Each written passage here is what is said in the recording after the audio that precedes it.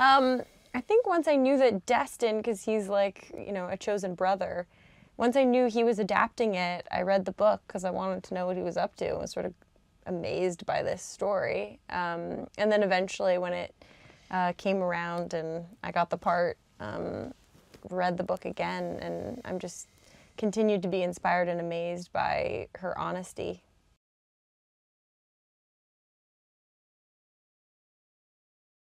Um, well, the person Jeannette is so strong and funny and insightful and full of forgiveness and she's incredibly resilient and that's a quality that I I really admire about her is that she is completely herself and not trying to be anybody else other than that and that person that she is is magnetic. Um, it's a it's a tough childhood that she grew up in but ultimately she has only love and forgiveness and has gone on to do incredible things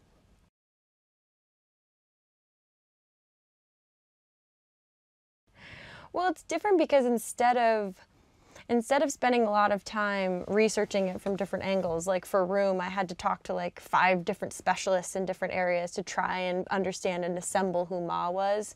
In this case, I only needed to go to one person, and that was her. It meant having a lot of conversations because you know I'm playing her from quite a large scope of her life too, and and I wanted to understand her from like her intimately. Um, but it was so great. I loved that it was just as simple as having a conversation, picking up the phone, sending an email.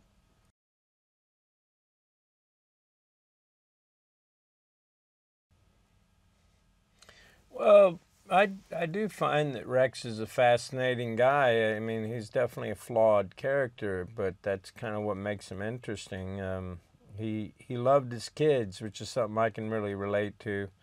Uh, and you know, sometimes he was pretty great at expressing that love, and then other times he had a few issues.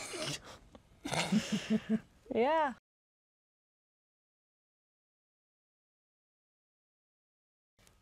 I did talk to Jeannette.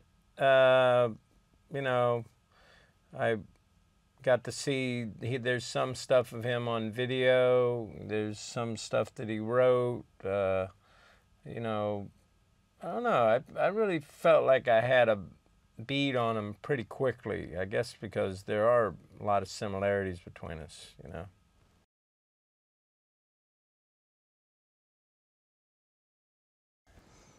Mm, I loved our weekends. We yeah, we'd all get together on on the weekend. We have these epic, um, huge dinner parties. Yeah, yeah, and we'd have picnics in the park, which were great.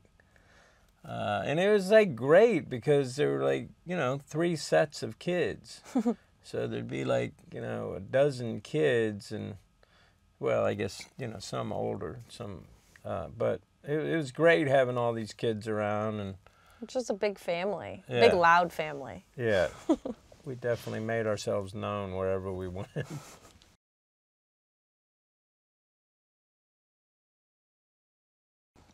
He's just the coolest and the best. He's um, such a great, gentle soul, but great notes. Like he'd come and he'd just know exactly what to do, and not like talking on and on with his like, notes, but just like very precise. Mm-hmm. And, and he's uh, always very calm. That's the part uh, that I'm always. It's that like those Maui vibes that just yeah, run yeah, through yeah. him. It's like he's not getting rocked by things, you know. There's a lot of moving parts on a set and a lot of different ways and reasons to get stressed out. And he never does. And he's also very open and very vulnerable himself, which I think just lends to actors being more open too.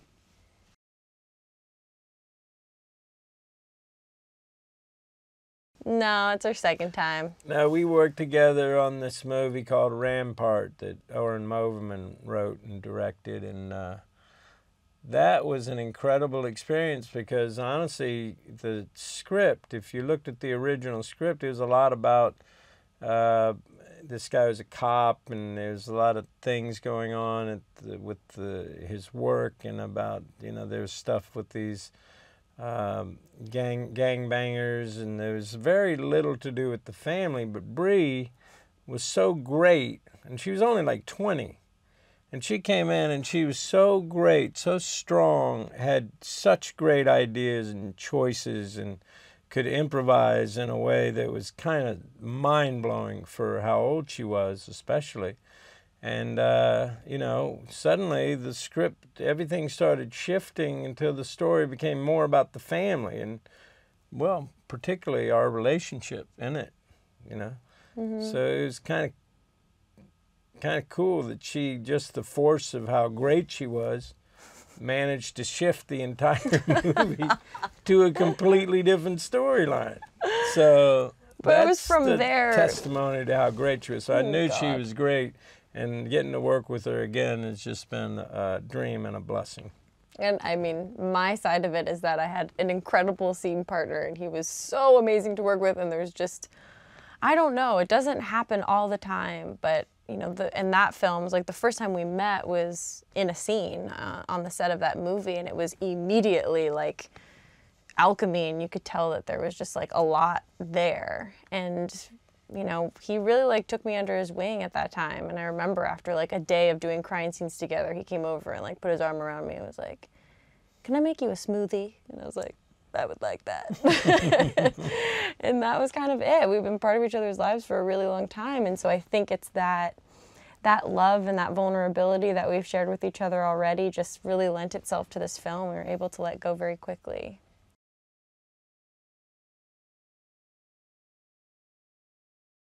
Well, I know Brie feels the same way I do. We, we don't really want to be saying, here's the message you should, you know, that's for whatever anyone picks out of it. But it's something interesting about this, about the book and also about the movie that it's, you know, about this family and everybody who has a family, which is uh, most people, mm-hmm. uh, can relate to it and ha- has been powerfully moved by it. And, also experience a lot of laughter with it as well. So it's like a cool thing, man, to be a part of this. Yeah, it really is. cool.